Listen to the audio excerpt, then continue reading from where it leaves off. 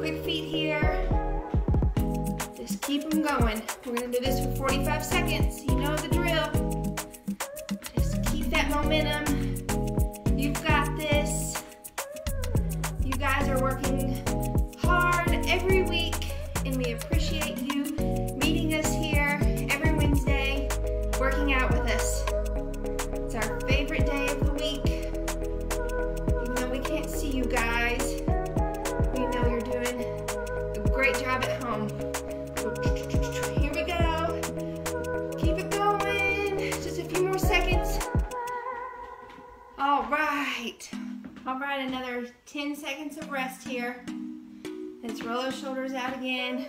Just gonna move our neck side to side.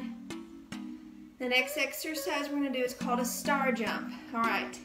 So what you're gonna do is kind of squat down. I can't really squat down too much these days, but just gonna crouch down, just like this to start. Then you're gonna come out into a star. So crouch down, out into a star. Right, let's keep it going for about 45 seconds. Woo! Take these at your own pace. Good job. Keep it going. And the star. You guys are doing great. This one is different. And I hope you enjoy it. You'll feel it tomorrow, that's for sure. More seconds. And one more. Good job. All right, good job, guys, for our cardio portion of the workout today. You guys did awesome. I know it was pretty intense. Now we're gonna work our glutes. So the first exercise we're gonna do are frog jumps. And what I want you to do is to squat down just slightly. You don't have to go deep with this. Just go to your comfort level. So could go deeper if you want. I'm gonna stay about right here. And what you're gonna do is go start in a squat, jump forwards, and land in a squat. Okay, we're gonna do 20 of those. So ready? One, two, and step back.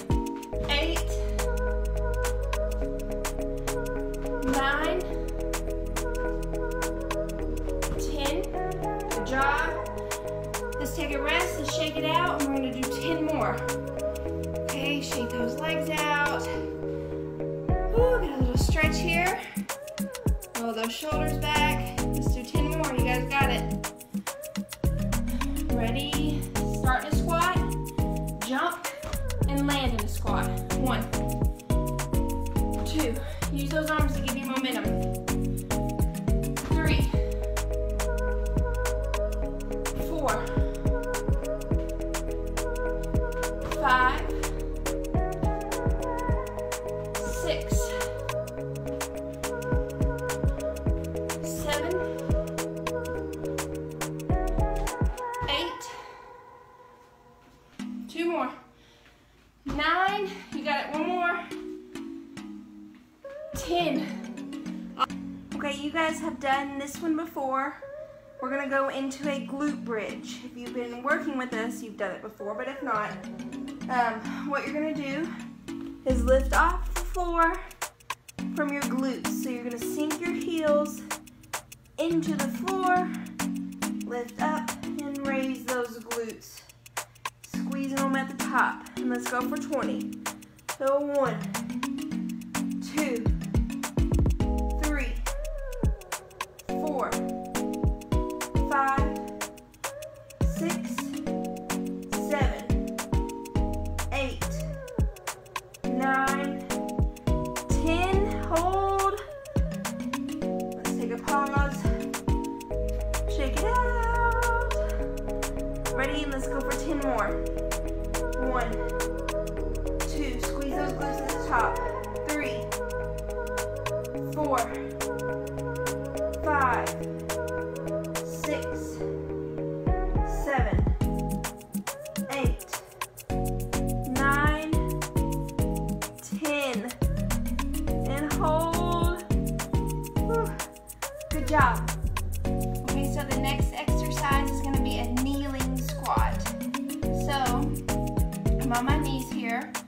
my knees are pretty wide. They're not close together.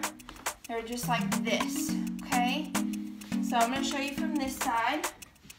And what you're gonna do is go down into a squat and back up. Okay, just as simple as that. Squeeze your glutes at the top. Let's go for 20. So one, two,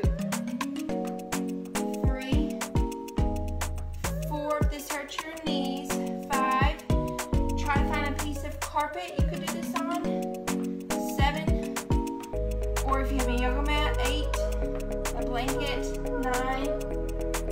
Ten. All of those things work.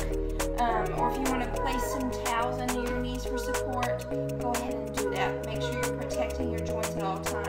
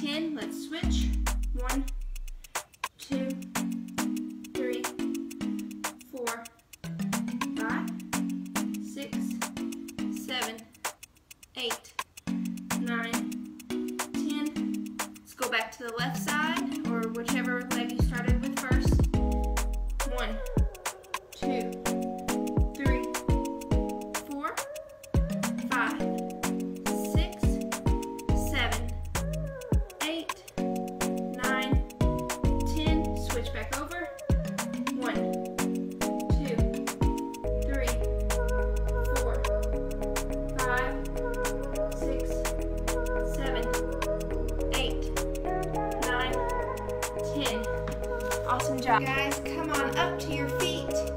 What we're gonna do next are just basic squats, okay? So your feet are about hip width apart. I like to put my hands together for balance. And what we're gonna do is just squat down and back up. Ready for 10. So one, two, three. I already feel my glutes on fire today. Four,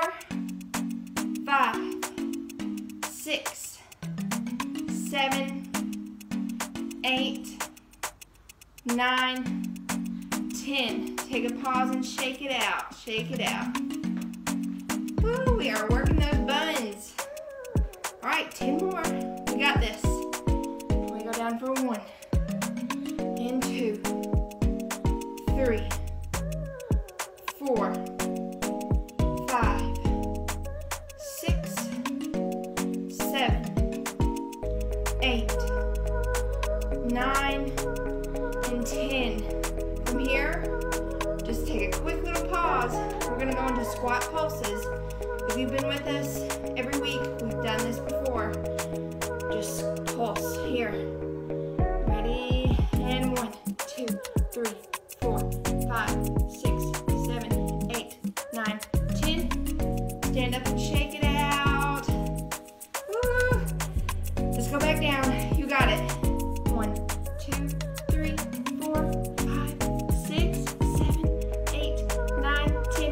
Little bit more. Let's do one more set of ten.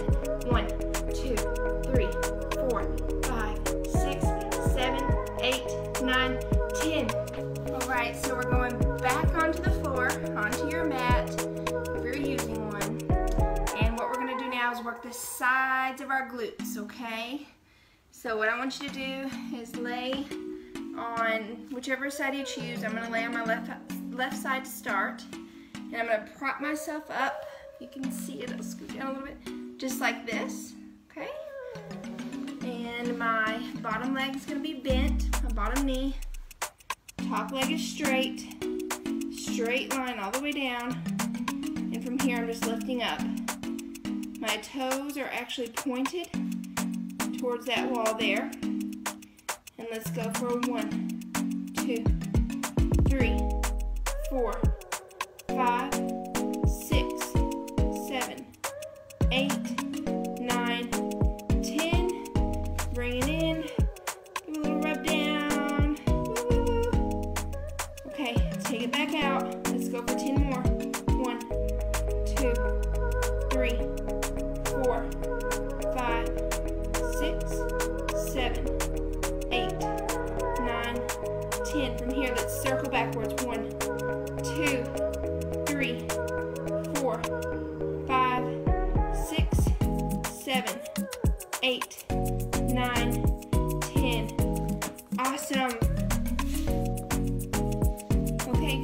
now I've switched sides.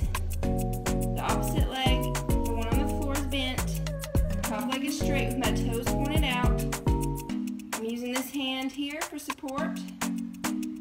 And when we're ready, let's go for 10.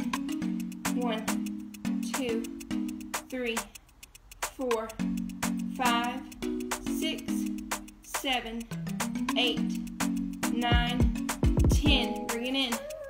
A little rub.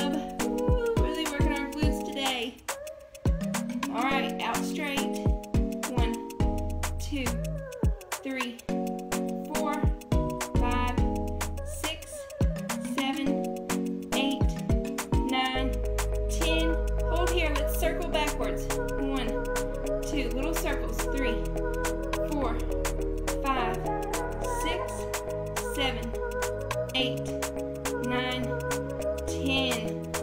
Awesome. Hi everyone, welcome to your upper body strengthening portion of today's workout. So I'm going to use two small pound weights. You do not have to, or you can always ditch them halfway through, kind of however you're feeling today, but I'm going to go ahead and pick those up now.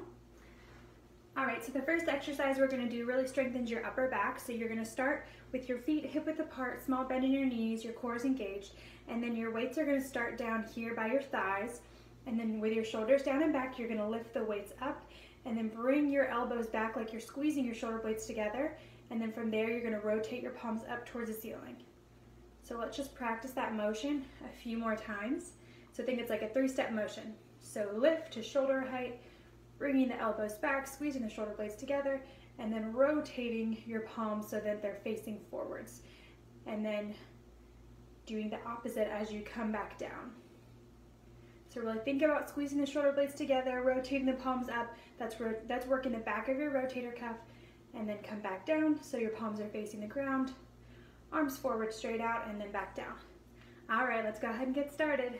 So go ahead and come up, elbows back, lift, and then reverse it. Really slow, moving with control here. And I want you to work within your own range of motion. Beautiful. Continuing to keep your core engaged the entire time. So we're working lots of muscles by doing this dynamic movement. And you're going to keep breathing. Pull back, lift up, and slowly return back to center. Let's see if we can do six more. I think we can. All right, here goes five. And four. Really checking in, making sure your core is engaged, keeping a nice flat back the entire way through this exercise. It's really important, especially as we get tired, our low back wants to arch. Just three more. Ooh, feeling the burn already. Two more. Pull back, lift up, and slowly come back to center. think I'm making you guys do one extra. Let's do one more for good measure. Lift up, slow, come back down with control. All right, nice job. So now what we're gonna do is we're gonna move into some tricep work. So the rest of our session's really gonna be focused on working the triceps, so the back of our upper arms, and then biceps, the front of our upper arms. So what we're gonna do now is we are going to move into what I call a windmill with a tricep extension. So again, you're gonna start in that kind of power stance, cores engaged, your shoulders are stacked over your hips. You're gonna have the weights down here by your thighs, and then you're gonna windmill them up overhead, bringing the weights together, and then from here, we're gonna go into a, a tricep extension, and then windmill back down. So I'll go from the side so you can see. So bringing the weights up overhead, and then bringing the weights together so your palms are facing each other, tricep dip down, and then straighten, and then bring those weights out. I'll come and face forward one more time just so we get practice the motion. I turn my weight so they're facing each other. Elbows in towards the center, straighten, and then come all the way back down. Good. So windmill up, weights together, triceps, and slow come back down. This one especially I want you to work within your own range of motion. Really think about keeping the your upper arm super quiet when you come into this portion. We're just straightening the elbow. Again, another dy dynamic movement, so we're working lots of muscles at once here. You're breathing, checking in, making sure your core is engaged. Up overhead, tricep extension, and then windmill slowly back down. All right, up overhead. Good. Straighten and slowly come back down. Good, bring it up. Straighten. Good, and we really all should be working to make it a little bit more smooth. Try to work to have your palms come together as you're bringing your arms up overhead. Make it a nice smooth, fluid motion. There we go, that looks a little better. Let's do five more here. Nice job. And breathing. Just three more. Really moving slow, deliberately with control. Tricep, slow, come back down. Come on up. Just one more. And bring it up. Go ahead and do one more tricep while you're up here. that was just for fun. All right, nice job. Okay, so what we're gonna do next is a bicep curl, but I'm gonna kind of walk you through it because we are gonna do different variations of a traditional bicep curl, so we're targeting um, the muscle differently. So go ahead and come into that same power stance for me, feet hip width apart, small bend in your knees, and then with your elbows locked in at your side, palms starting down by your thighs, shoulders down and back, and then we're just gonna go to regular bicep curls up. We're gonna do 30 of these. Check into that breathing, Try to get it to come down a little bit. Beautiful. Turn to the side so you can see how this looks. You're really controlling the weight as it comes down towards your thighs. You're not letting the weight just kind of take you for a ride down. Nice job. So we're using low weights but doing high reps so that's better for toning purposes, getting those tank top arms going. Nice job. Let's do eight more. And I'm gonna walk you through how to do the next part. So we'll do three, two, and one. So go ahead, bring your arms out to where your elbows are bent at about 90 degrees, and then from here, I want you to slowly lower, really, really slow with control, and then come back up. So we're focusing on lengthening the muscle, working in a different fashion. So kind of sticking in the lower, the bottom half of the range of motion, but lowering those weights with control, really slow and deliberate. Good. Same thing, we're gonna do 30 here. So it's a very small control movement. It might not seem like we're doing much, but we're working the muscle in a different fashion. Good, so just slightly more than 90 degree elbow bend and then really, really slow, lowering with control. Nice job. This is gonna be the last one that we're gonna do in standing, and then go ahead and have your mat handy, because we're gonna do some arm work laying on our backs on the mat. Let's do just eight more. Slow with control, lowering those weights down. Five more. Four. Three. Two. And one. Nice job. Made our way down onto our mats. I've got my weights here close by. I'm gonna go ahead and make my way onto my back with my knees bent up just to protect my low back. My shoulders are nice and relaxed down here. I'm gonna go ahead and pick up those small weights and we're gonna do some tricep work, but while we're on our backs. So what I want you to do first is to lift your arms to shoulder height and have about a 90 degree bend in your elbows. And then from here, we're gonna straighten and then slowly lower those weights towards the ground and straighten. Making sure your core is engaged in this position. Don't let that low back arch up. And then really keep your upper arm quiet. We're just straightening at the elbow. Nice job. So fully straighten and then same thing, really control those weights as you come back down. Breathing. In the last part of the workout, you can do this. Finish strong. We've just got 10 more here. And really as you get tired, focus in on those upper arms, making sure they're not moving all over the place. Good. Five more four, three, two, and one.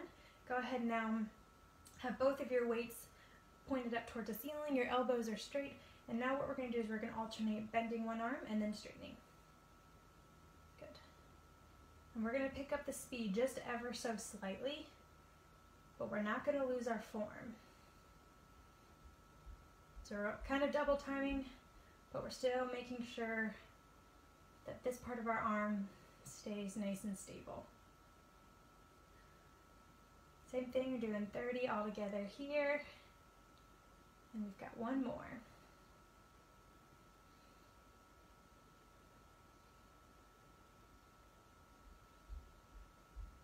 And again, if you don't have any small dumbbells like I do, feel free, grab a can of soup, some other canned item you have in the house that'll work just as well.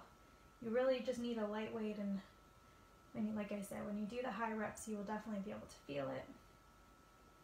All right, eight more. We're picking up the speed just slightly. Three, two, and one. Good.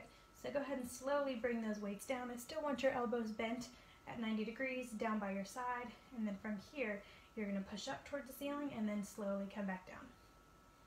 So kind of a different way that we're working the triceps. So you should be feeling the burn, maybe starting to get a little bit fatigued on the back of your upper arm. 30 here. You know the drill.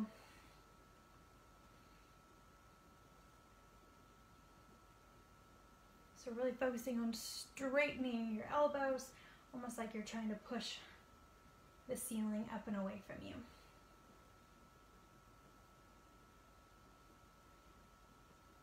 Nice job. Ooh, arms are starting to get tired on me.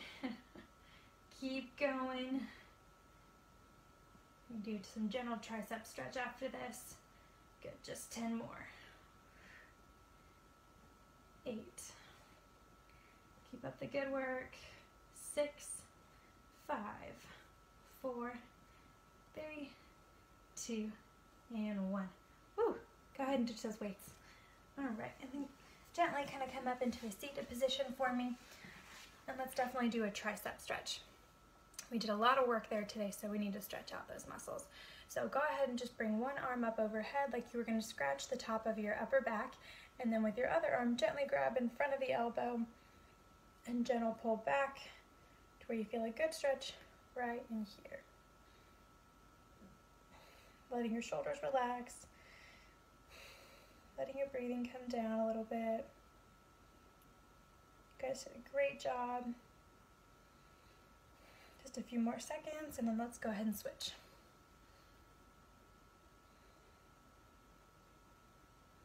Same thing, just gentle pull to where you're feeling a good stretch in the back of your upper arm.